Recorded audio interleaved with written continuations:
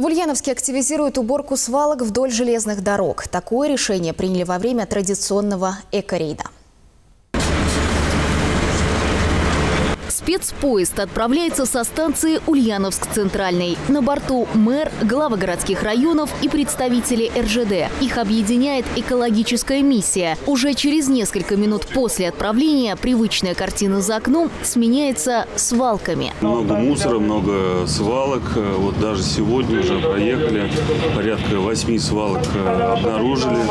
В дальнейшем городские службы, наш Центр по благоустройству озеленению приступит к ликвидации. Несанкционированные свалки организуют, как правило, возле гаражных кооперативов и садоводческих товариществ. И эту картину из окна поезда наблюдают путешественники и гости города. Борьбу с такими свалками ведут ежегодно. На сегодняшний момент, в принципе, изменения есть. То есть вот э, из года в год их все меньше, меньше и меньше.